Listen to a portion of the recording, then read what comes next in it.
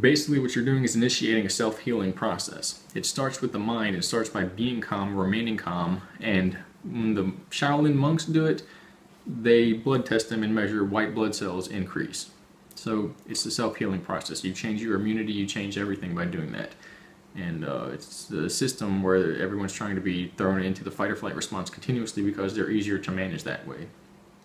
So just something to think about in terms of enjoyment in life and uh, the pains that we go through.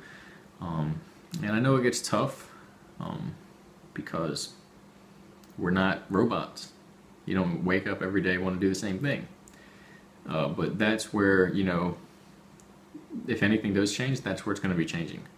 So see how you can fit into something with that, how you can organize yourself and begin to express yourself in ways that nourish your mind, your soul, and uh, connect with your spirit because there is an abundance of being there, and that is the nature of self preservation of the true self. Because at that point, you're maintaining your eternal body and not just the temporary body. But the catch is that is what maintains your temporary body. That your physical body literally uh, it, it, it heals when there is more spirit. When there's not a high level of spirit, it is weak and it lessens.